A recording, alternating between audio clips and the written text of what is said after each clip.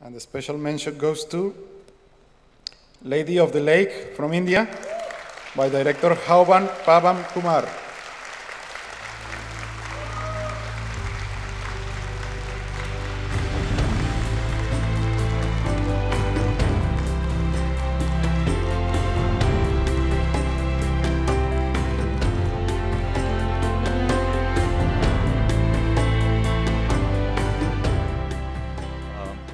On behalf of um, Haobam Paban Kumar, I would like to thank the Academy, um, uh, UNESCO, and uh, the Nominations Council, and all the crew members who worked for this film.